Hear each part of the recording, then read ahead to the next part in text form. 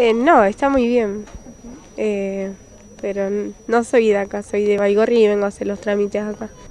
Eh, no, el documento es lo principal que tiene que tener. Muy bien, muy bien. Es una cosa muy importante porque para todos, no solamente para este barrio, para cualquiera.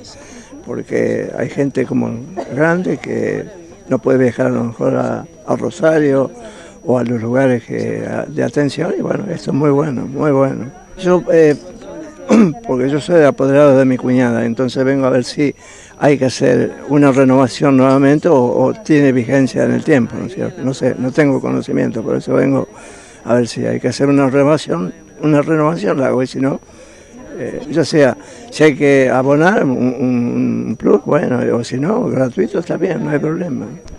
Y me parece bárbaro, es un programa en el cual trayéndole soluciones, que de eso se trata.